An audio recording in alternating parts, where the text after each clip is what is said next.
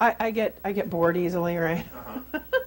so I had to start. I started um, giving myself stars when I ate well. I'd give myself little flowers, and then if I did something bad, I'd put a frog on it. I think it's so important to do whatever it is that helps you be healthy, you know. And for me, stickies. 51 year old Jane Titus spends a big part of each day fighting high cholesterol and high blood pressure.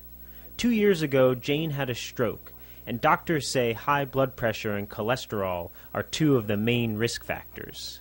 It was a wake up call for Jane to change her lifestyle. Now she participates in the cardiovascular prevention program at St. Luke's Roosevelt Hospital. Every six weeks, she visits the director of the program, cardiologist Dr. Merle Myerson, to review blood test results. Your good cholesterol, HDL cholesterol, is 46, but anything above 40 is good. I think when we started, it was even lower. HDL 36. 36, yeah, Absolutely. okay. When Ms. Titus first came to see me, she still had some high blood pressure, which we know is one of the risk factors for stroke. Her cholesterol was still um, abnormal, and she hadn't done any exercise. All right, well, let me just take a, a listen here. We've worked on each of her risk factors, and I think the most important thing is that um, Ms. Titus herself has done so much to lower her risk.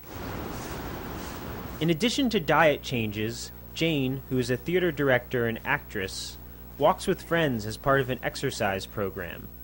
And she was also put on a list of daily medications, including aspirin, blood pressure medication, and a statin drug to lower her abnormal cholesterol levels.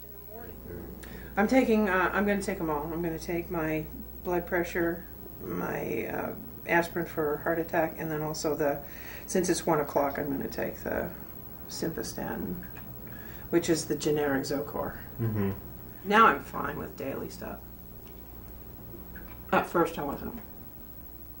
It was hard when they added in the cholesterol medicine. I was a little bit like, oh God, another pill I have to take for the rest of my life. Dr. Myerson orders a fasting blood test to be done every six to eight weeks in order to monitor her cholesterol numbers.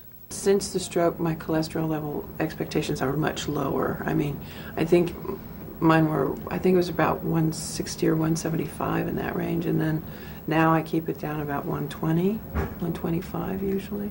So I do know those numbers, and I didn't necessarily know them before. They've become very important to me. I give everyone their numbers, and most of the time, but not all, they know whether they're at goal or not. But many don't even know that. Let me just go over your last uh, cholesterol tests. Your total cholesterol was 122, but more important are the individual um, components such as the LDL, the low density cholesterol. That's the bad cholesterol. Yours is 65. Mm-hmm. Your triglycerides are fine, they're 53, and the goal for that is under 150. The only way that I can empirically know that I'm succeeding at preventing stroke and heart attack is by keeping those cholesterol levels down. LDL cholesterol is commonly known as bad cholesterol and is most implicated in causing buildup in coronary arteries as well as in blood vessels of the brain. The goal LDL value for someone who has had stroke or heart disease is under 70. You know, the thing I always have to concentrate on getting into my diet, uh, even now, is more fruits and vegetables. You know, I just have to, as I'm sitting here fixing uh,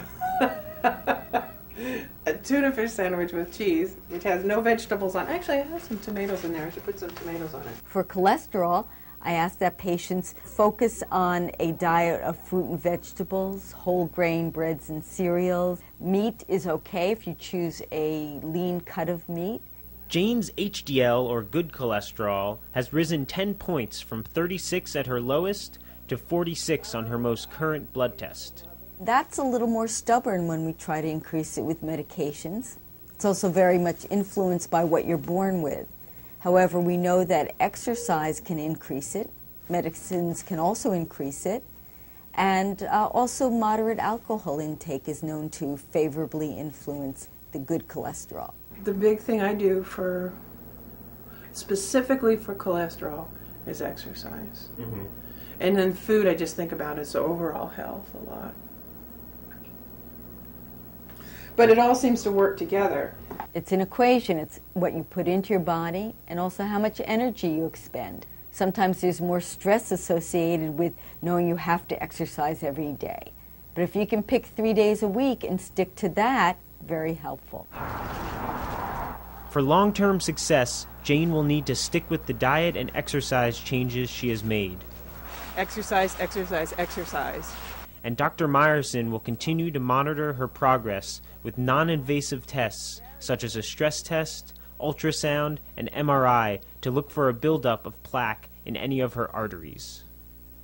Periodically, I'll speak to Dr. Brockington. We'll do maybe an ultrasound on the blood vessels here. You never know if you're going to have another stroke. You never know if you're going to have another heart attack. But I can't honestly say that I'm doing everything I can not to have another one.